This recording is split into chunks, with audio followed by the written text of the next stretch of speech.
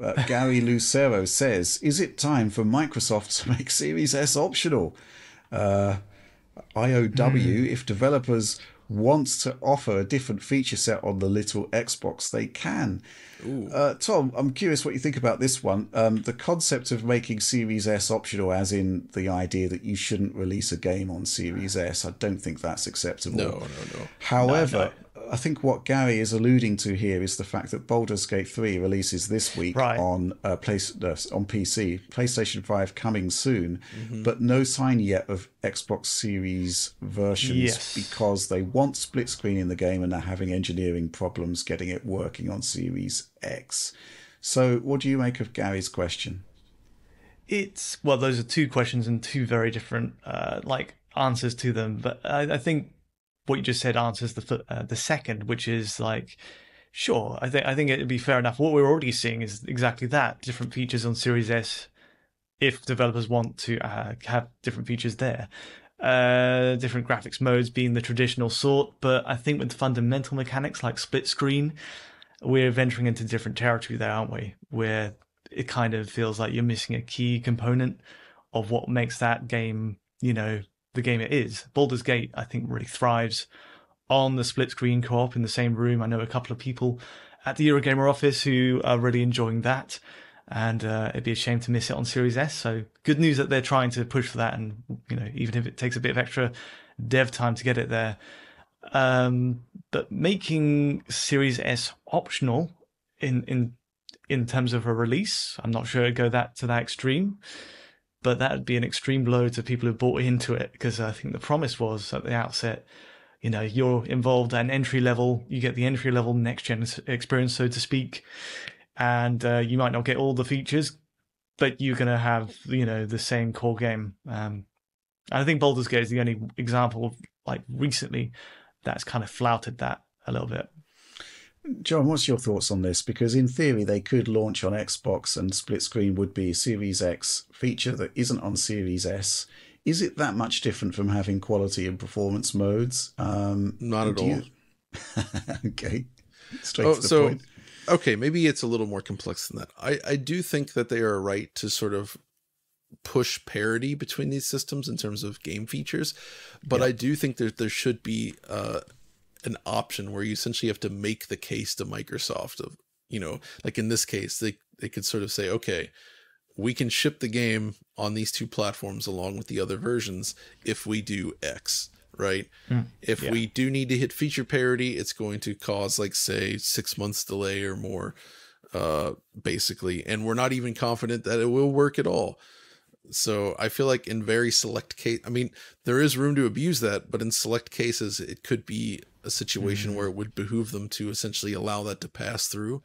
You yeah, know, exactly. The only problem comes in is like if the game is marketed with these features as a big part of the game, uh, conceivably that could create a problem where somebody buys this version and then oh, it doesn't have this feature, right? Yeah.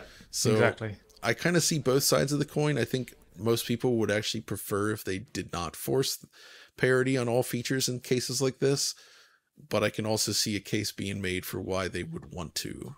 So it is mm. it's hmm. very dicey, and I think it has to be a case by case thing. Yeah, I guess the issue is that you know once you open the floodgates, uh, yeah, once you sort exactly. of start, you know, uh, ignoring your own rules that you made for Series X, then you know it can be abused and uh, that is a sort of slippery road. Or they could yeah. do something where on Series S, it switches to the cloud. If oh. you want to do split screen, that's the killer blow. Uses xCloud. well, it would be amusing Sorry. if the second screen would come from the cloud. Because, uh, well, the whole split, like they could have a little thing where it's like a if they have like in text or ads or a trailer, like have a little asterisk on there, asterisk on there, uh, where it says like a Series S version uses xCloud for split screen or something.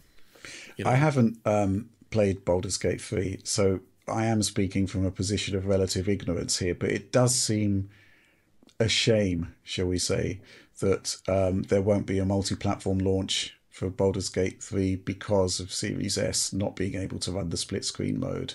Uh, when realistically, the take up for split screen in terms of the whole audience, is likely to be relatively low overall. It's a nice feature to have. Is it essential to the game? That's my question.